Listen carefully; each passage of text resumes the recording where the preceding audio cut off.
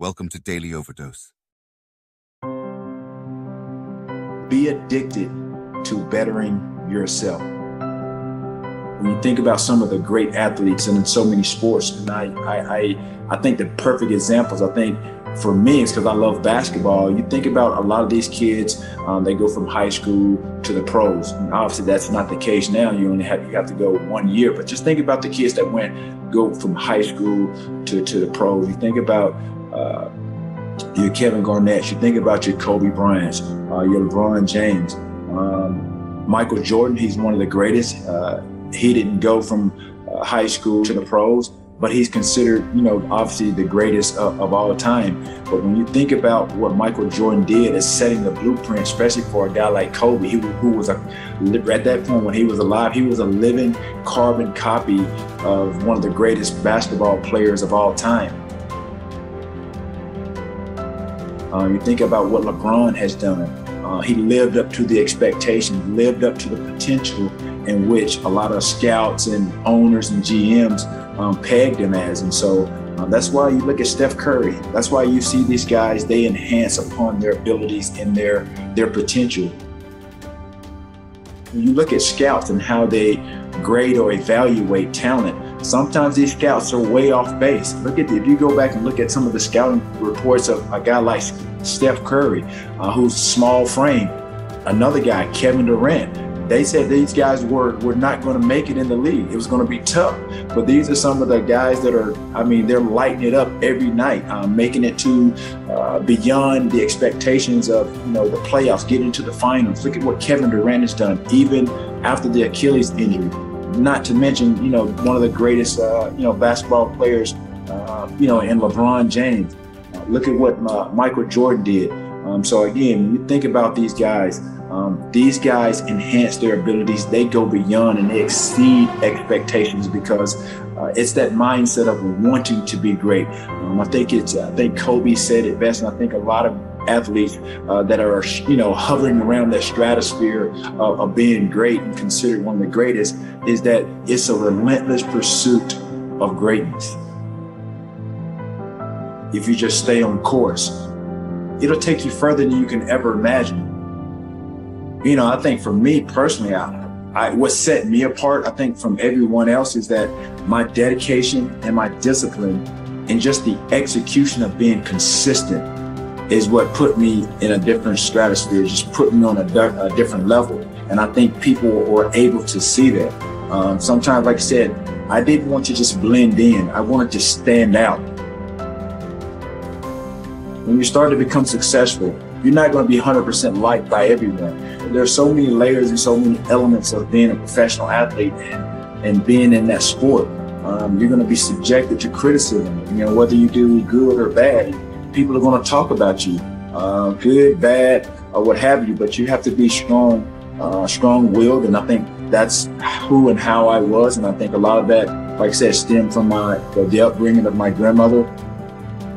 But at the end of the day, I think an athlete, again, to get to where you want to be and the process in which it takes to get there, you have to be addicted to bettering yourself.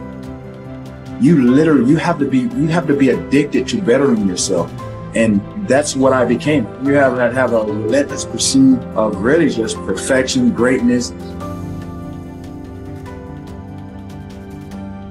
Obviously, it boils down to my three Ds desire, dedication, and, and discipline. But at the end of the day, the essence of what I just said, you have to be addicted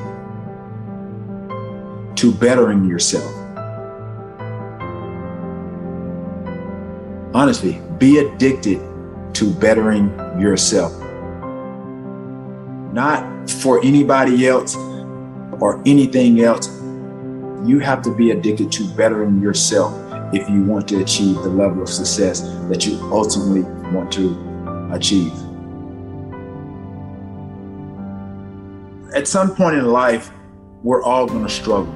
And I think that's what you're getting to. We're always, we're going to be confronted with something. There's going to be some obstacles um, that we feel that, you know, we can't over- overcome. Or when you're on your path to success, there's always going to be those roadblocks here and there. Um, it, it's just, it's a part of life. Um, and I think that's what's so rewarding when we do uh, achieve what we achieve is because of those failures, because of those struggles, because of those roadblocks. Uh, those roadblocks can come in different forms. It can be your own mental uh, roadblocks. It could be uh, just outside criticism. It could be media. It could be anything. It could be personal problems. It could be family problems. It could be something as simple as you driving, you, you get a flat tire. Uh, I mean, anything can, can, can trigger you and to try to get you off track. Those are struggles. Um, and then just from an athletic standpoint, um, that's going to happen. Uh, and it's always, it, it's, it's really how you respond to it. So whether it's in business, uh, personal, uh, it's in sports, but at the end of the day, we're all going to struggle. I struggled, but I didn't quit. And that's what I encourage a lot of people to do. Just don't quit. Just just don't give up. That's what I would say. People are going to judge you. They're going to misunderstand you. They're going to gossip about you. But they're, I, I encourage people to really be strong-willed to, to know that their opinions don't matter. Uh, their opinions are not your problem. Some people are able to really rise above and beyond um, their circumstances, and there are some people that can't handle it. But that doesn't mean that they can't be great. They just have to approach it and deal with it the way that they feel uh, needed. No matter what is said or done, do not doubt your worth. Take us into your daily routines. How do you stay as disciplined as you are?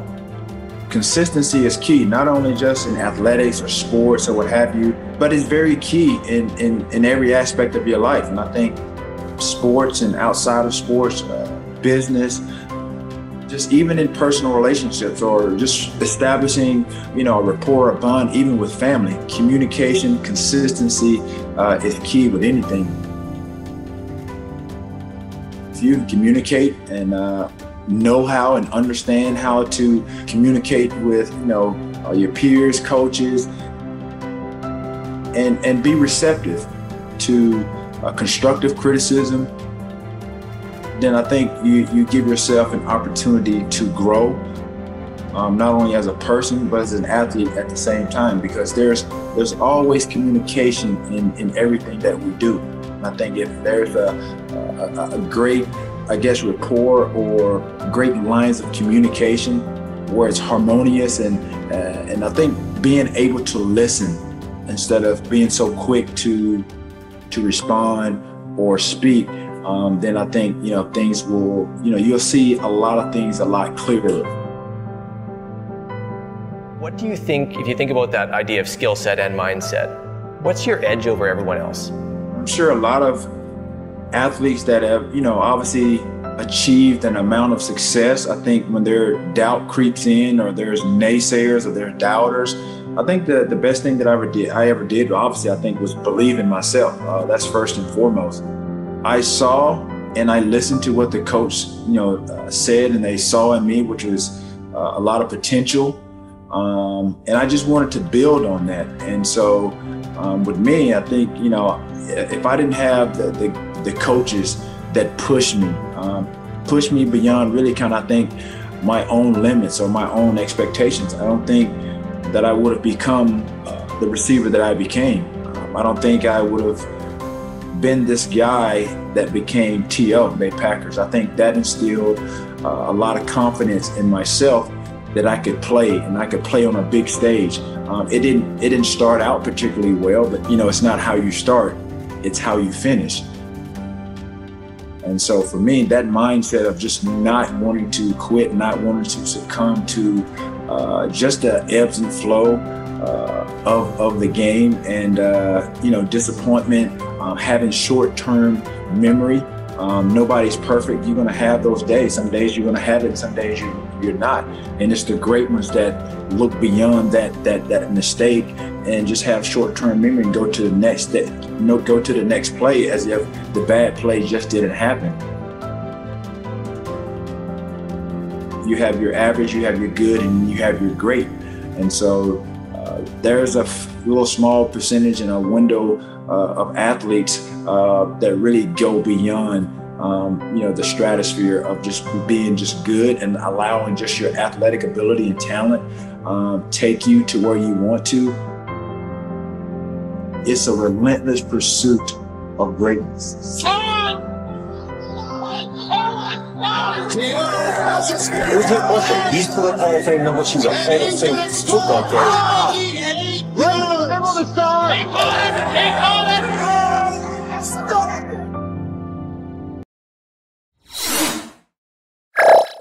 Thank you for watching our videos.